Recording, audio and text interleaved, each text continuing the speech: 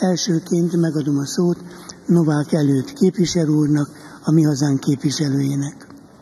Elnök úr, köszönöm a szót. Tisztelt képviselőtársak, az Országgyűlés Igazságügyi Bizottsága zöld utat adott a Covid diktatúra által bevezetett veszélyhelyzet újabb meghosszabbításához. Most a háborúra hivatkozással 2024. május 23-áig kitolják. Ezzel gyakorlatilag több mint négy évet élünk folyamatosan valamilyen különleges jogrendben, amiben a kormánynak olyan speciális rendeletalkotási lehetősége van, amivel egyes törvények alkalmazását felfüggesztheti, törvényi rendelkezésektől eltérhet. 2022-ben 267 darab olyan kormányrendelet született, amit a veszélyhelyzetre hivatkozva alkottak meg. Ez azért elképesztően nagy szám, az összes jogszabály mintegy 20 százaléka, tulajdonképpen visszaélés a joggal. A rendeletalkotásnak ugyanis kisebb a nyilvánossága, gyorsabb is, mint a szigorúbb jogalkotási eljárási szabályokhoz kötött törvényalkotás. Például nincs nyilvános vita, tehát a kényes ügyeket gyorsan le lehet zavarni. A háborús veszélyhelyzet gyakorlatilag egy politikai trükk, a hatalommal visszaélés eszköze. Nem a magyar nép érdekeit szolgálja, hanem például az oligarchákét. Nem a veszélyhelyzet újabb és újabb meghosszabbítására volna szükség, hanem például az inflációt és annak káros hatásait kezelő kormányzati gazdaságpolitikára.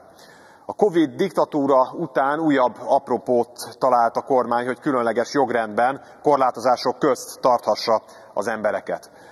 A háborús veszélyhelyzet kihirdetése és meghosszabbítása fegyveres készülődést jelent, diplomáciailag is rossz üzenete van, ezért sem támogatja azt a mi hazánk mozgalom. Inkább például a külföldi NATO harccsoportokat Magyarországra beengedő kormány határozatot kellene visszavonni, mert hazánk katonai felvonulási területté tétele okoz, okoz igazi veszélyhelyzetet hazánkra nézve, illetve Izrael terrorjának magyar támogatása.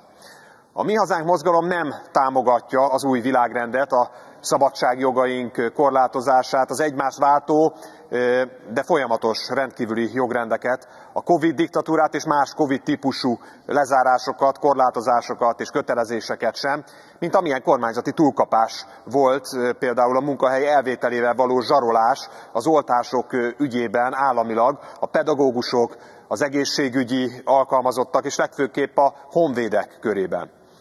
A háborús veszélyhelyzet egy politikai trükk tehát, hiszen ha a kormány szerint valóban háborús veszély van Magyarországon, akkor mi a fenét keresnek a magyar honvédek a világ távoli részein, például Irakban, vagy ezután majd Csádban is? Hazánk számára egyébként a legnagyobb biztonsági kihívást épp hogy Ukrajna, a soviniszta Ukrajna jelenti 2014-2015 óta mindenképp, hiszen az elmúlt évek során egyre inkább korlátozta a kárpátaljai magyar nemzetrész jogait, elnyomta és megfélemlítette a magyar közösséget.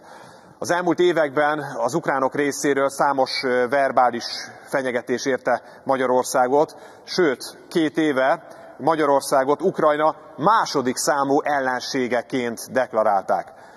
Fennáll most a veszély, hogy Ukrajna fennmaradása esetén a nyugat által felfegyverzett ukrán haderő a kárpátaljai magyar, magyarságon, sőt akár egyenesen Magyarországon vesz elégtételt a háborús kudarc miatt.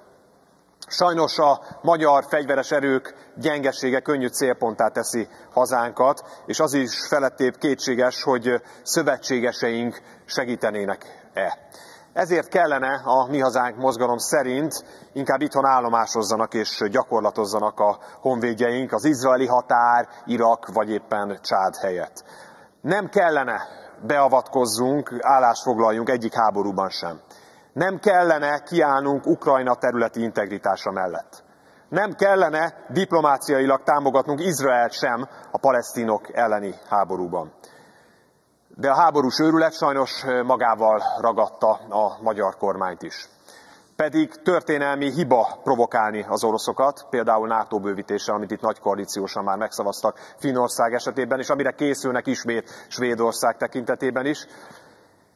Hiba volna a háborús veszélyhelyzet fenntartása is, és ezzel provokálni tovább az oroszokat egyfajta katonai készülődéssel, amit egy ilyen háborús veszélyhelyzet kihirdetése, illetve fenntartása is jelent. Tisztelt Országgyűlés, az új világrend kiszolgálása helyett és a háború kiszélesítése helyett a függetlenségünk, semlegességünk, ezáltal a béke előmozítására volna inkább szükség a mi hazánk mozgalom szerint. Köszönöm a figyelmet.